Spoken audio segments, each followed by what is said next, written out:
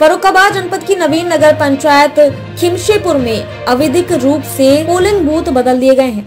उसी संबंध में आलोक यादव जिला पंचायत सदस्य ने सोमवार को जिला अधिकारी महोदय को ज्ञापन दिया गया था। उप जिला निर्वाचन अधिकारी फर्रुखाबाद ने ज्ञापन को संज्ञान में लेते हुए एक टीम का स्थलीय निरीक्षण के लिए गठन किया, जिसमें धनुषधारी सिंह अधिशासी अधिकारी, प्रभारी नगर पंचायत खिमशेपुर, सोरन सिंह, राजस्व निरीक्षक महेश्वर सिंह, क्षेत्रीय लेखपाल मदनपुर, राहुल सिंह लेखपाल आदि ने मौके पर स्थलीय निरीक्षण किया, जिसमें गजियापुर से मानधनता बूथ की दूरी 9.4 किलोमीटर बहराम नगर से स्वामी नगला बूथ की दूरी 6 किलोमीटर बहराम नगर से कान्हीपुर बूथ तक की 8.6 किलोमीटर दूरी पाई गई। निरीक्षक के समय आलोक यादव, जिला पंचायत सदस्य और सैकड़ों मतदाता नगर पंचायत के उपस्थित रहे।